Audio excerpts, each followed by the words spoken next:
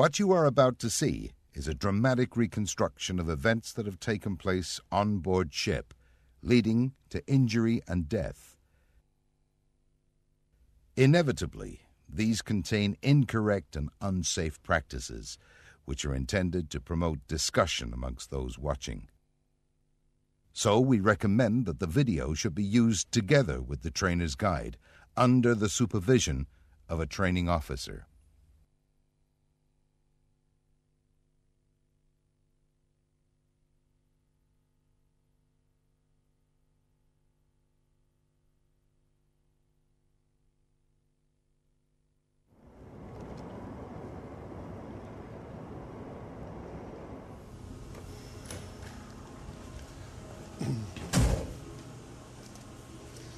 Good afternoon, First Mate.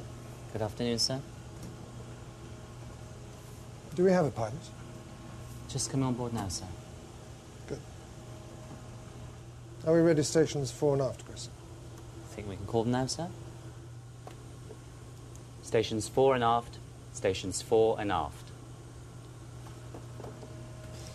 Better make it 1720 in the London. 1720 it is, sir. Swift to Volker, Swift Volker, port control.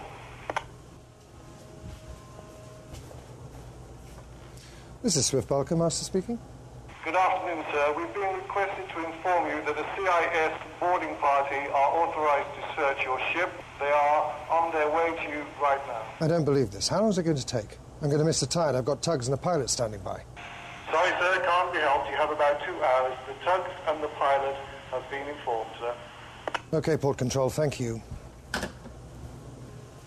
Bloody authorities.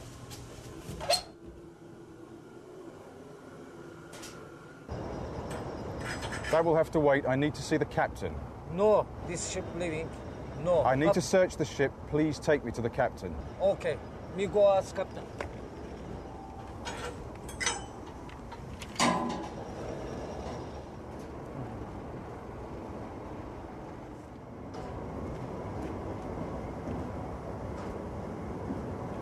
You two head for the bow section and wait for further orders.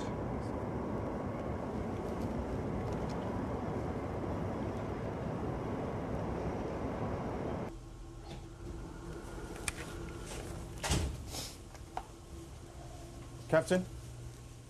My apologies, sir. But we have orders to search your ship on the basis of information received in the last few hours. We hope you'll cooperate in this matter. Yes, I've just been speaking to head office and they've instructed me to give you every assistance. What exactly are you searching for? And how long is it likely to take? Uh, the answer to your first question is classified, I'm afraid, sir. As to your second question, I don't know. Maybe three to five hours. Chris, stand everyone down. Will do, sir. Inform the engine room. Hear this. Sailing's postponed until further notice. Sailing's been delayed until further notice.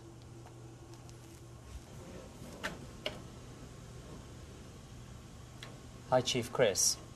There's a CIS search party on board, so sailing's delayed indefinitely. I don't know. Stand everyone down for the moment. Okay, cheers.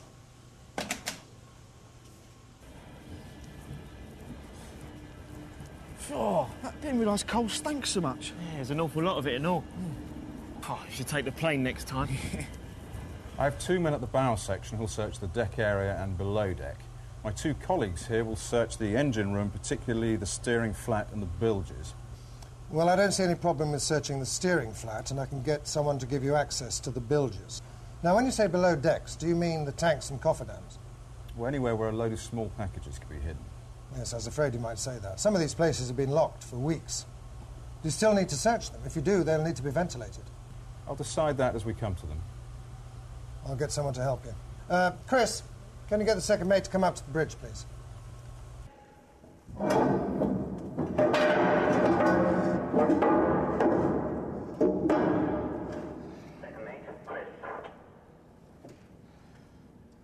Second, Chris. Come to the bridge, please, right now. Yep, on my way.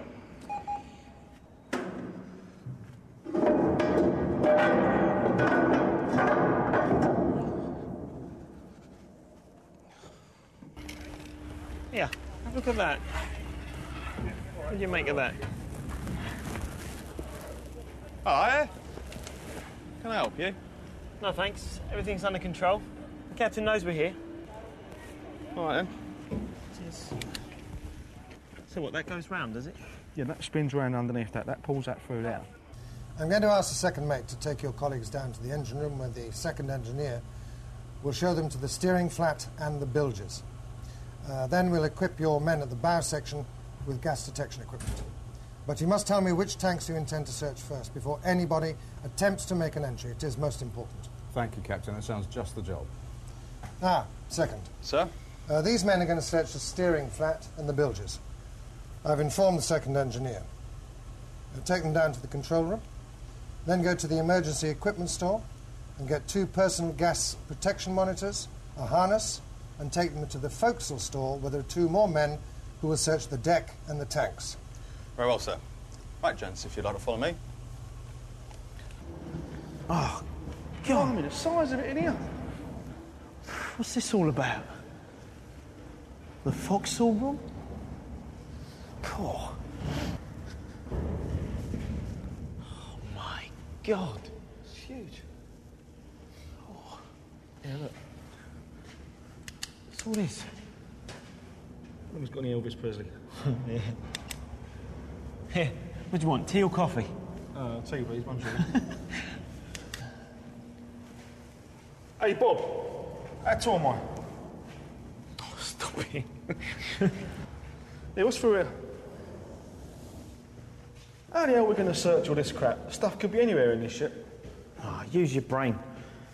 Who's going to hide anything in here? I know. It's all got to be searched, though, isn't it? Yeah, you're right. Hello, second. We. These are the two chaps from the uh, search party. Welcome. They want to have a look at the uh, bilges and the steering flat. Okay. Uh, where do you want to go first? Well, why don't we start with the steering flat and then one of us can look at the bilges? Okay. Suits me. I can proceed with that. Okay, I'll leave these chaps to it. Let's go then. Uh, if you want, take uh, one of these, please. And uh, just follow me. Okay.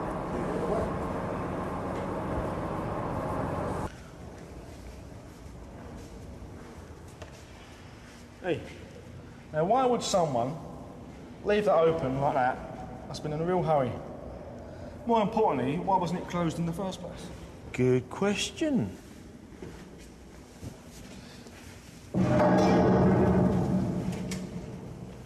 Now, my money's on a place like this. That definitely deserves a closer look.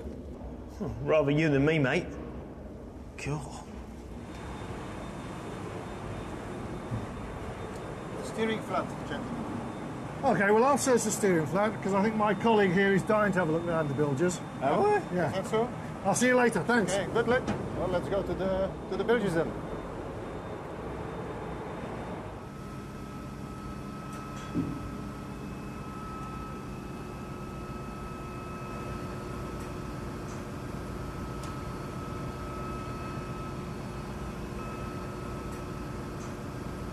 If you start at the main deck, you shouldn't have any problems.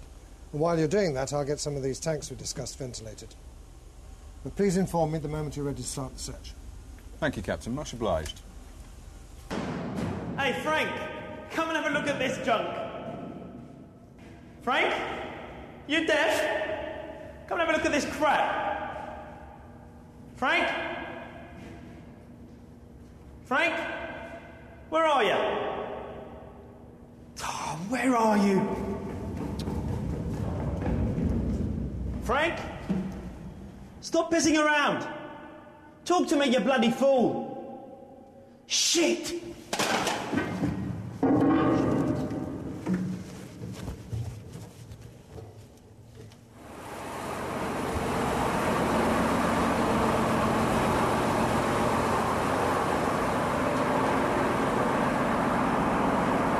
are the bilges.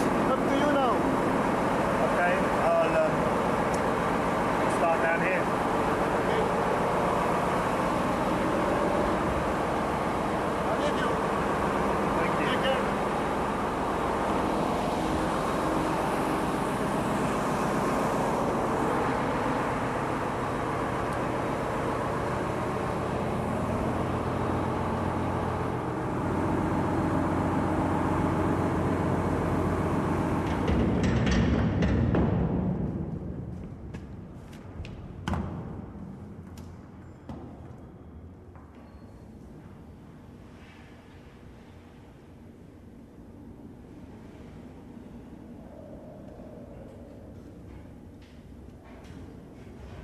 Hey, you! Can you hear me? Bridge, bridge, second mate. Bridge. Two of the search party have collapsed and are unconscious in the Fore Peak tank. I need emergency rescue immediately. Two casualties in the Fore Peak tank. Message understood. Stand by. Sir, two of the search team reported in the Fore Peak tank, apparently unconscious. Damn. I told them. Full emergency response, please, Chris. You take local command. I'll set off the alarm. Hear this, hear this. This is an emergency.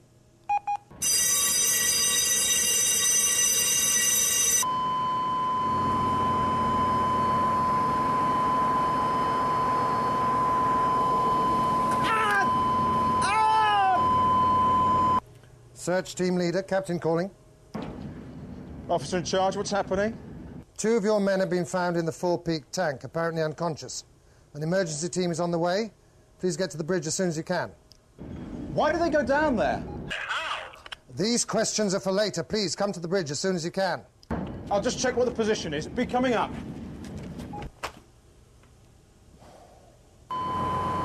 Help! Anybody there? Help! What the hell's going on here? This tank hasn't been open for weeks. Two of your men have gone down there, and, and now they're probably asphyxiated. Well, let's get 'em out then. You can't, not with that breathing apparatus. Look, our men are on their way. We'll get them out. I bloody well hope Yeah. so. I've got to see the captain. Help! Anybody there?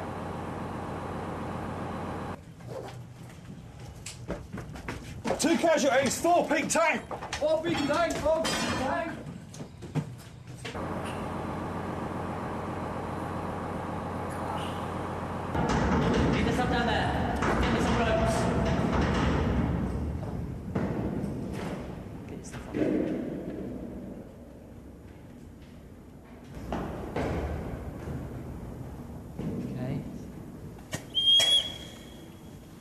Bridge Chris, BA1, pressure 195. Okay, mate, down you go.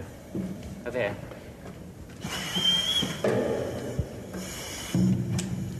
BA2, pressure 197. Down you go.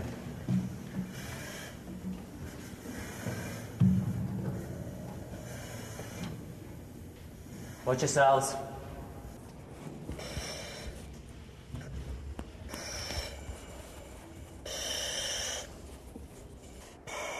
Send down the Rasaxi pack. This is back coming down now.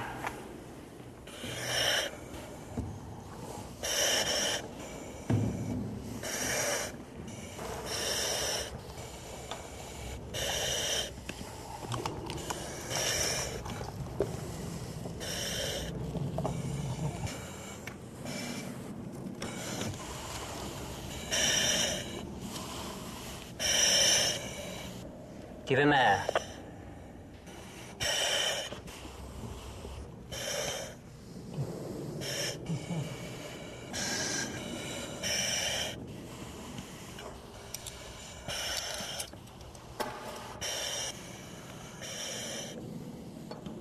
Check the straps are tight.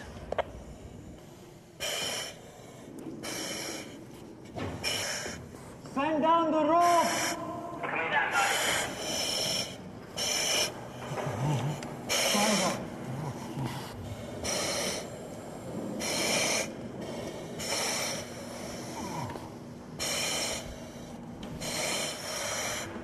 Heave away. Nothing. Help out.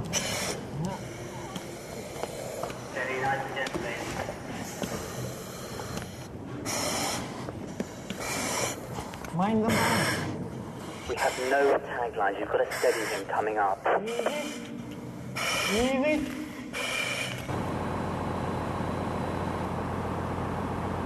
Steady, lads. Come on. Come on, easy, easy. Oh. Get that. Easy. Watch his head.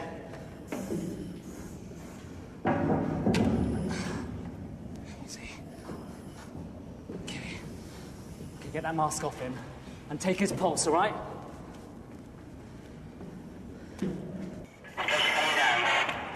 Roger, copy that. Stretcher coming down.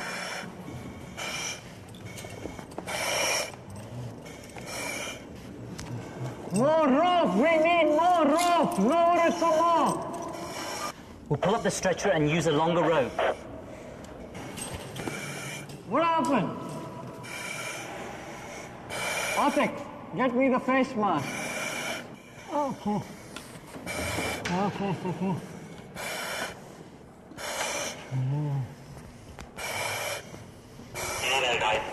Put it on. I'll connect you. Send down the stretcher with a long line.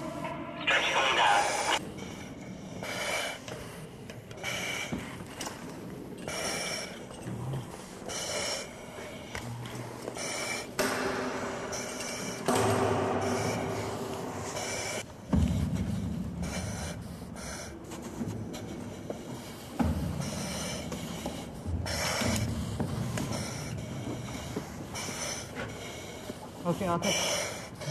Make all the straps nice and tight. Okay, that one, yeah.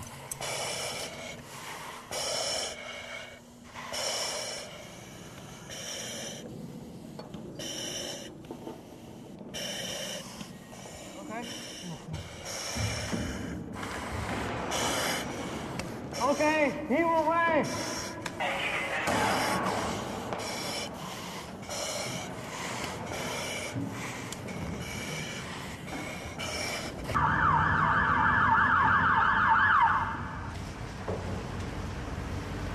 Okay, guys, let's get him out. Come on. Watch his neck.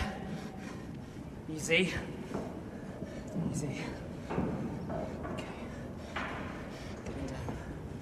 Easy. Okay. Mask off and check his pulse.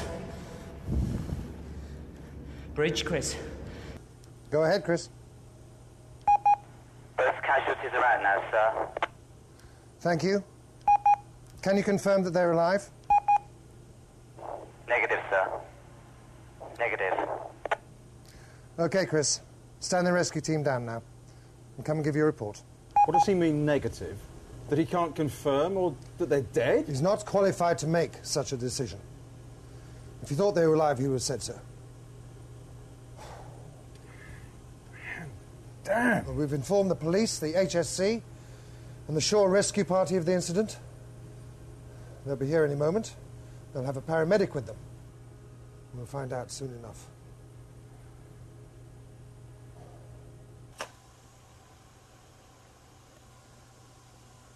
Ah, second. Uh, send the two men searching the engine room up to the bridge, please.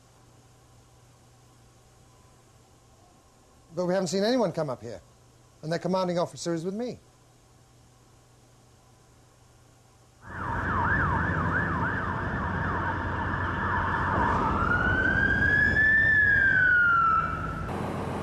Help! Anybody?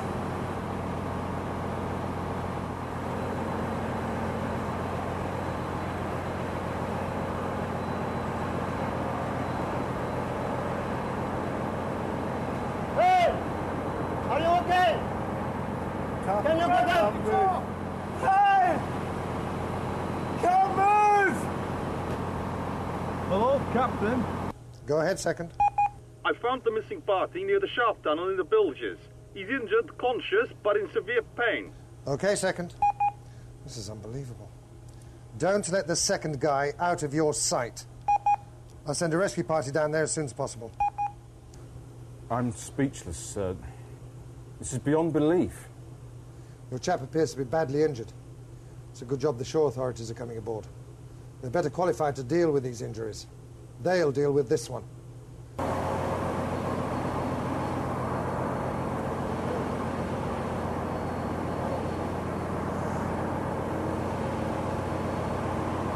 Hello? How you doing?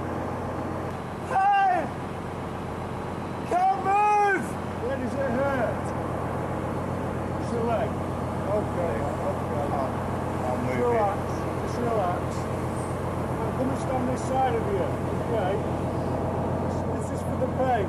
Just make a tight seal over your mouth and breathe deeply. Okay?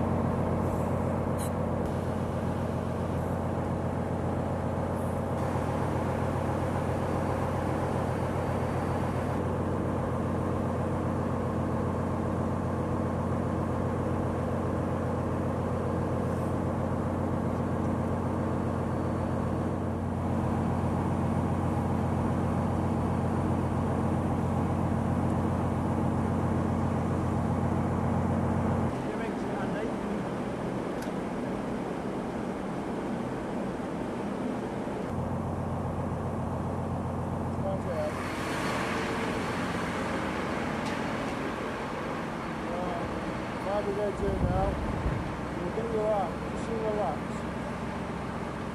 Listen, I've put pain relief now. I'm sure to help you now. Yeah? So, well, Take his leg over there and lift him up. That's all he's about doing. Take, What? his- take his leg over there, Yeah. throw him back and check him up over it. Okay.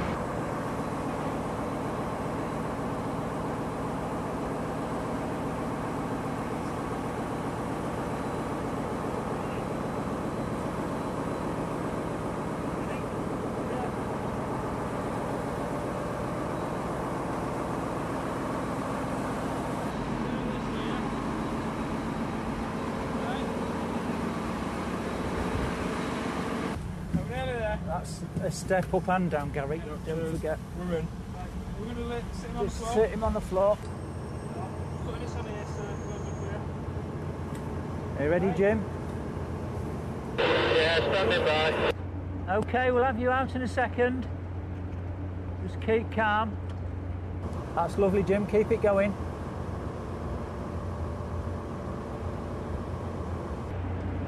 All right, mate. We'll soon have you out. We've got a stretcher waiting for you just here. Let's go left, guys.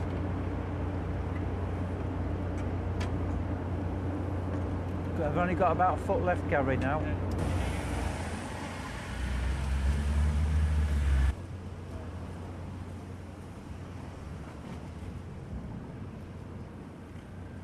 Uh, this is the first draft of the report that we shall have to submit to the authorities. We have had two deaths from asphyxiation and a severely injured party with at least one bone fracture. A number of lessons can already be drawn from these incidents. The two deaths occurred because men entered a tank where the atmosphere could not support life. They entered without protective equipment and without checking the atmosphere. The first man rescued was still alive when they found him, indicating that he entered the tank sometime after his colleague. Experience shows that this happens when someone discovers a casualty in a confined space and, without raising the alarm, goes to the rescue unprotected. Many seafarers have died like that. No doubt you'll have to write your own report for your own superiors, uh, and you will have to draw your own conclusions from today's events. That's correct, sir. Please convey our thanks to everyone involved in the rescues. I'm sure they did everything possible in the circumstances. I'm desperately sorry about all this. Um, if you'll excuse me, I have to go with the ambulance now. HQ will be in touch with you about the search.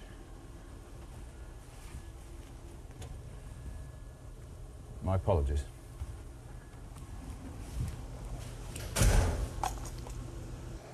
Now for the rescue attempt itself. We have only one stretcher on board, yet we have had to rescue two casualties who were not wearing harnesses. How do we attach a safe lifting point to a casualty who is not conscious? We need to address this. A rope which was not long enough was attached to the stretcher, causing delay. We must check that all our ropes can reach the bottom of a tank from deck level. How was it that we did not have a tagline available for the rescue? We must make sure that all the rescue equipment on board is familiar to everyone and that the right piece of equipment is employed correctly at all times. Now, this raises the issue of rescue drills and how often everyone should be involved in them.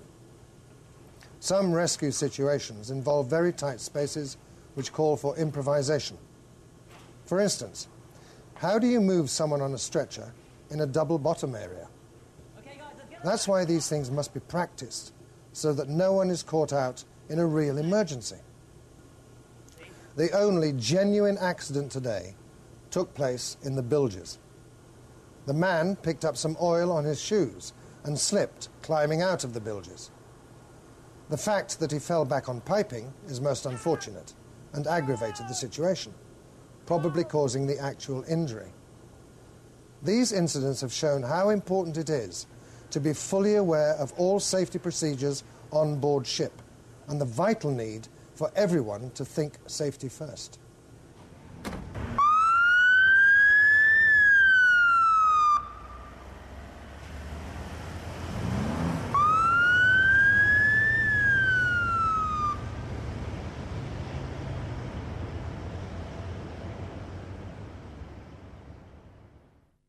The casualties in the story were not seafarers. They did not know the risks they were taking on board ship. Seafarers do. They know the correct procedures for entering into enclosed spaces. They know they should follow the correct rescue procedures and practice the use of equipment available on board. But despite that, too many seafarers die on board ship in similar circumstances. The vital lesson to be learned from this is that whatever we do, we must think safety first at all times.